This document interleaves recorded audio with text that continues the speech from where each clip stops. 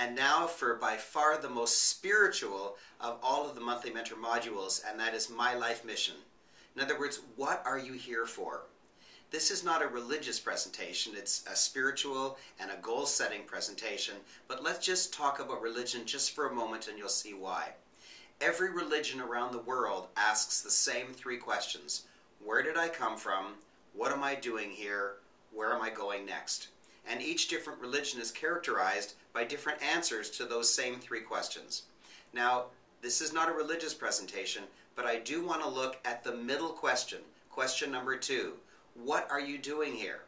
Certainly, you're not here to to push through rush hour and get some assignments done and then push through the return rush hour and have a beer over dinner and go to sleep. Certainly, that's not what you're here for. And yes, you have some children, and yes, it's important to to bring them up wholesomely, so that's a good one. But there's more than that. There's more than just having children and having a good home life. What is it? Well, in this lesson, My Life Missions, you're going to learn, you're going to be able to identify what your own life missions are. And you've probably seen corporate mission statements, which have given a very bad name to mission statements because they're so long winded and they're they're just useless. They say we attempt to be everything to everybody and sell only the best products to only the best customers and and our investors are the happiest and it just goes on and on and on and it's just empty fuffery because you could take that off the wall and show it to every employee in the company and they'll say we've never seen it before. So there's not really much point to it. But in the monthly mentor program you're going to write a mission statement your life missions in such a way that you'll remember it for the rest of your life and it'll completely change your life. It'll redirect you. It'll make you more focused because you'll be doing what you came here for. Remember question number two why am i here? You'll be doing more of what you came here for. And when you do that on your deathbed, you won't say the big oops. You see, when you're lying in bed and you're old, you're in your 80s or 90s, and this is your last days, you're near your end, you look back on your life, I don't want you to say the big oops. I don't want you to say, gee, I shoulda, I, I wish I coulda, I wish I did. Instead of the big regrets, I want you to say, yes, I know why I was here, and I did what I was here for. I pushed myself forward along those lines, and I have no regrets. I have pride in the life that I led. Well, you can only have pride in the life that you lead if you know where you're going. So, what you have to do is imagine your life backwards and then live it forward. Imagine your life backward and live it forward. What do I mean by that?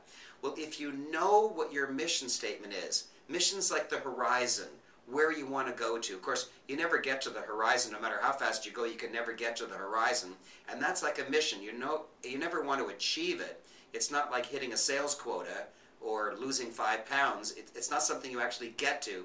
It's just something you head towards. So when you head towards your mission, you, you have a vision first of what your mission is, and you go there forward. But you first have to go to the end, look back, and decide what you want your life to be about. And once you've decided what you want your life to be about, you then simply live it forward to get there. So we've already done in a previous module the annual love letters. Annual love letters is our loves, it's where we come from. And our mission is where we're going to. When you come from your loves and go to your missions, then you have a very narrow and clean path to follow. Now, why is that wonderful? Because everybody out there is complaining there's so much noise, there's so much confusion, I don't know what to do, there, there's just so many options, there's a hundred million websites, there's a thousand channels on my television, there's hundreds of radio stations I can get. I don't know what to do. There's just so much noise that people are flustered.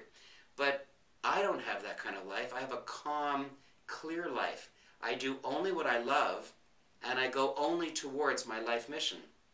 And so I have a clear, narrow path. Now you might say, well, I'm not there. I, I'm not doing only what I love, and I don't know what my life mission is. That's true. But in the previous module, you at least got an uncensored list of all of your loves, and now you can work each month to do more of what you love and less of what you don't love. However, even more so, in this lesson, My Life Missions, in one in one module, in one session, it'll take you no more than, say, half an hour, you're going to be able to identify your life missions in such a way you'll remember them easily. Here's the proof. I'm going to tell you my three life missions. And I bet we could bump into each other 10 years from now, and I say, Quick, what are my three life missions? And you'll know them immediately because they're brief. It's actually three life missions, and each one is only two words long. Now, yours may not be two words long, they might be one or three or four, but very small number of words and always three life missions. Why three? Because humans are more complex than just one mission, and humans are not that capable of handling 10 or 20 or 100 life missions. It's too much. It's, it's too much to handle. It's too much for a lifetime. And what I've found mentoring tens of thousands of people around the world for over a quarter of a century is that three is the number. Now, here we go. I'm going to tell you my three great dad, great husband, and great mentor.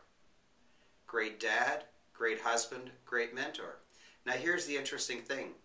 For over 10 years, I was looking for the woman of my dreams, and I hadn't found her. I have now found her, and I'm very, very happily married.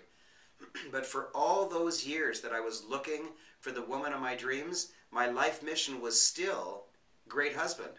And so I kept looking for her. I kept doing those things I needed to do to find her, and I found her. I have two wonderful daughters, and now I have three granddaughters, and I'm fulfilling great father. So, is my life over? No. Have I done everything I need to do? No. But I know where I'm going. I'm going towards great mentor. I'm going towards great husband. And I'm going towards great father all the time. That's what's important.